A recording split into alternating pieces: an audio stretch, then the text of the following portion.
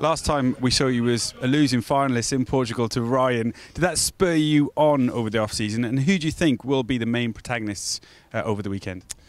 Did it spur me on? It did in a way that that was probably the best I've ever hit a golf ball. Uh, you know, win, lose or draw at that point. You know, my numbers that I saw, which obviously is key for long drive in terms of speeds and stuff like that, they were just off the scale for me. I haven't seen that before for, for a long time. So, you know, that was part of the off-season thing, just trying to maintain that. Uh, going forward, these guys, you know what, you've got some really good guys in the top 12 and you've got some really good competitors coming over to qualify as well.